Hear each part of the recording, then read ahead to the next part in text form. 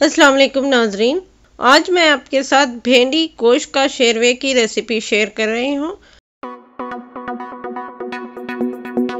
खाना Khazana Hyderabadi YouTube channel पे आपका इस्तकबाल है। अगर आपने हमारे चैनल को सब्सक्राइब नहीं किया तो प्लीज़ हमारे चैनल को सब्सक्राइब करें, लाइक करें, शेयर करें और इस वीडियो को आखिरी तक ज़रूर देखें। भेंडी गोश्त का शेरवा बनाने के लिए हमें चाहिए गोश्त 250 ग्राम्स हड्डी के साथ लिया है हमने भेंडी 100 ग्राम, प्याज, मीडियम साइज़ के तीन अदद, टमाटर, मीडियम साइज़ के दो अदद लिया है हमने। कच्ची इमली, हमने कच्ची इमली इस्तेमाल किया है। आप चाहें तो पक्की इमली भी इस्तेमाल कर सकते हैं या नींबू का रस भी इस्तेमाल कर सकते हैं। 50 ग्राम्स हमने कच्ची इमली लिया है। अदरक लहसुन का पेस्ट, टू टीस्पून, लाल मिर्ची पाउडर, टू टीस्पून हल्दी पाउडर, हाफ़ टी स्पून नमक हसब ज़ायक़ा, दो से तीन हरी मिर्ची, one teaspoon curry leaf, two teaspoon हरा धनिया, हाफ़ कप तेल।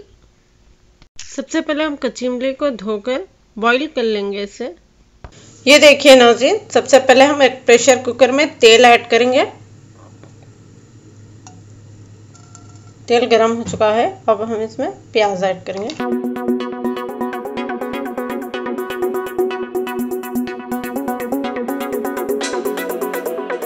और इसे अच्छी तरह से भूनेंगे लाइट ब्राउन होने तक।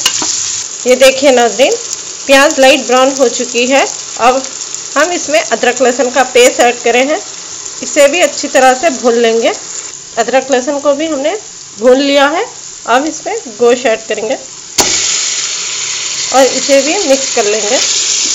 गोश्त को भी हमने मिक्स कर लिया है। अब हम इसमें नमक, हल्दी, मिर्ची और हरी मिर्ची ऐड करेंगे।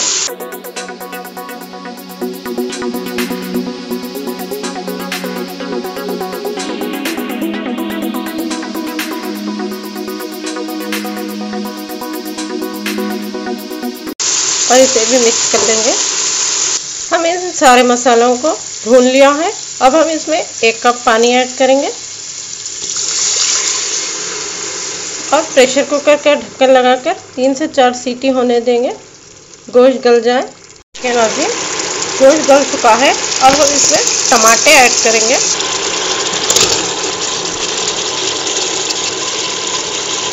और इसे भी मिक्स कर लेंगे। टमाटरों को भी हमने मिक्स कर लिया है। पाँच मिनट तक ढक्कन ढाप कर लो फ्लेम पे रखेंगे ताकि टमाटर गल जाए। देखिए ना थे टमाटर गल चुके हैं। अब हम इसमें थोड़ा सा करिया पैक ऐड करेंगे। भिंडी ऐड करेंगे। और इसे भी मिक्स कर लेंगे।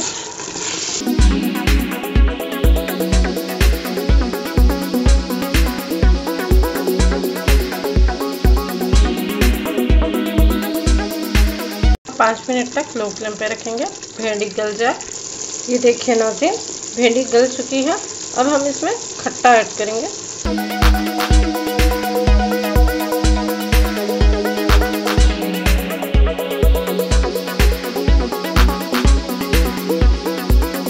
और इसे भी मिक्स कर लेंगे। हमने इसमें खट्टा ऐड किया है। अब हाफ़ कप पानी ऐड करेंगे। और इसे लो फ्लेम पे पाँच से दस मिनट रखेंगे ताकि खट्टे की जो कच्चा पना है, वो दूर हो जाए। ये देखिए नाजरीन, खट्टा पक चुका है। अब हम इसमें हरा धनिया ऐड करेंगे।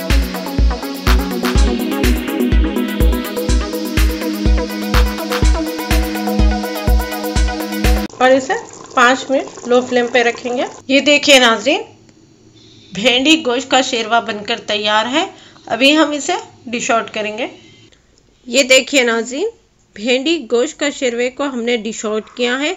आप इस रेसिपी को ज़रूर ट्राई करें और अपना एक्सपीरियंस कमेंट में मेंशन करें। खाना खजाना हैदराबादी यूट्यूब चैनल को लाइक, शेयर, सब्सक्राइब ज़रूर करें। Thank you for watching.